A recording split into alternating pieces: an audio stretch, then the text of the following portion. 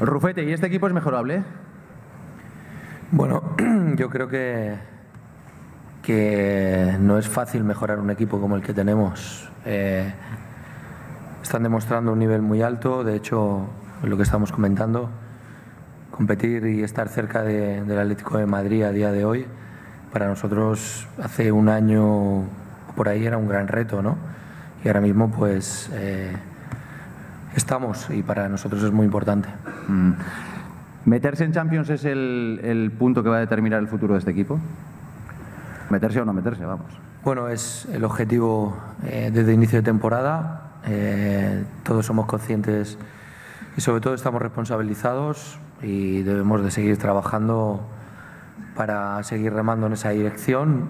Yo creo que estamos bien enfocados, pero evidentemente queda lo más complejo siempre de esta liga, que son los últimos 10 partidos. Pero yo siempre pienso que si en esos últimos 10 partidos estás bien encarado, tienes mucha posibilidad de conseguir objetivos. ¿Y sabes, Rufete, si, si el equipo, no en la previa, ¿eh? si se mete en la Champions, a lo mejor es más para el presidente, pero bueno, tú seguro tienes apuntado ahí una lista de jugadores, ¿te permite fichar, hacer un fichaje extraordinario, estar en la, en la Liga de Campeones? Cuando digo extraordinario, digo cosa Negredo o algo así, ¿no? Es eh, 40 millones o Bueno, nosotros... algo más que Negredo.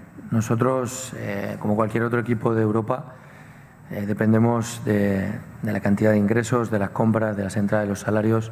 Pero si se mete el equipo en Champions, Champions, hay un fichaje así, ¿no? Sí, eh, todo eso unido a un fair play. Entonces, nosotros tenemos que buscar diferentes eh, jugadores y muchas veces no va en el rendimiento. Es decir, realmente para los clubes que nos tenemos unas grandes cantidades de dinero, va unido en, en- en el rendimiento y unirlo a, a las posibilidades de compra que tienen. ¿no?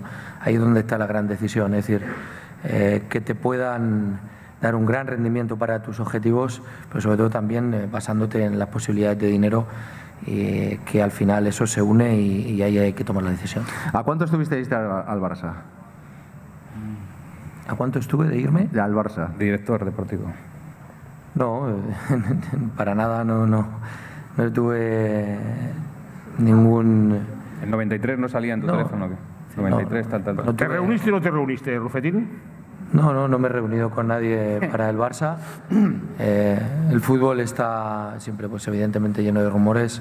Evidentemente, cuando uno está trabajando como profesional, ese tipo de cosas, pues significa que, que se valora el trabajo, pero no mío, porque al final esto es un club, es la unión de todos. Y si todos no trabajamos en la misma dirección, pues no se puede conseguir ese tipo de cosas o los objetivos, ¿no? Una vez se miran a, a unos, otra vez se mira a los jugadores, al míster, al presidente o incluso al dueño, ¿no? En este caso, pues han mirado para mí, pero yo no, no ni he hablado con ellos ni tengo ninguna información.